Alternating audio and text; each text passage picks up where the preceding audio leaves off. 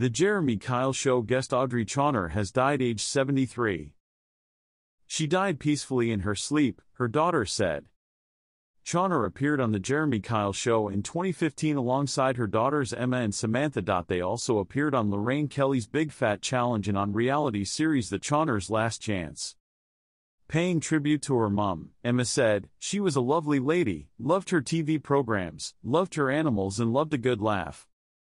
Her favorite TV programs were Emmerdale and EastEnders. She continued to The Sun, My dog also passed on Tuesday at 11 a.m., and Mum died on Monday.